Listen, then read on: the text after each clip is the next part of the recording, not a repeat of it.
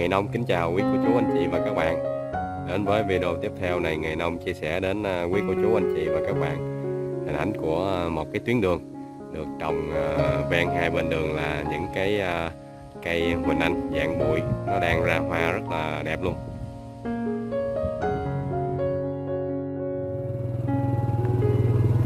Ở các tuyến đường nông thôn miền Tây Nam Bộ thì đặc biệt là ở những cái ờ, xã nông thôn mới, quý cô chú, anh chị cùng các bạn sẽ rất là dễ bắt gặp được những cái ờ, tuyến đường trồng ờ, rất là nhiều loại hoa và các loại cây kiển trang trí như thế này.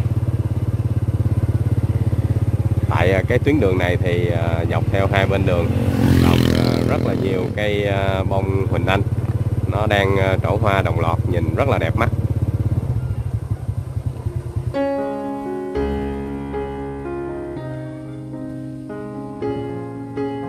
Khi những cái bông hoa này nó nở ờ, đồng loạt thì ờ, nhìn thành một cái ờ, dải dọc theo con đường màu vàng rất là đẹp luôn.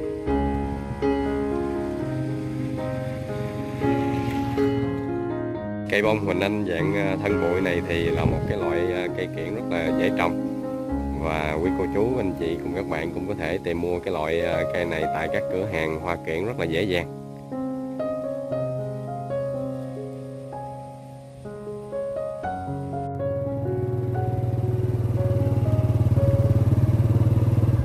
Ở các tuyến đường ờ, nông thôn như thế này thì những cái ờ, bông hoa sẽ được ờ, chính quyền địa phương và người dân ở trong khu vực này cùng nhau trồng và chăm sóc cho những cây hoa này luôn phát triển.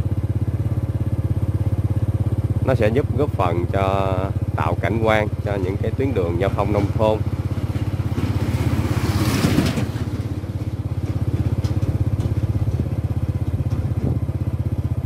nếu có dịp về miền Tây thì à, quý cô chú, anh chị và các bạn sẽ rất là dễ bắt gặp được những cái tuyến đường à, giao thông nông thôn trồng rất là nhiều hoa như thế này.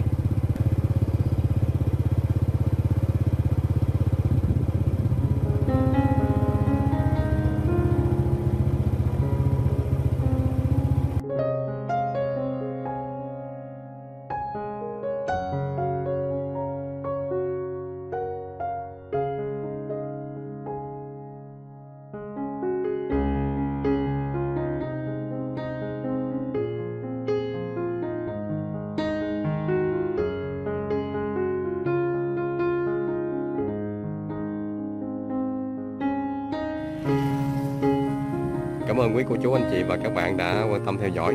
Trân trọng kính chào và hẹn gặp lại trong những video lần sau nhé.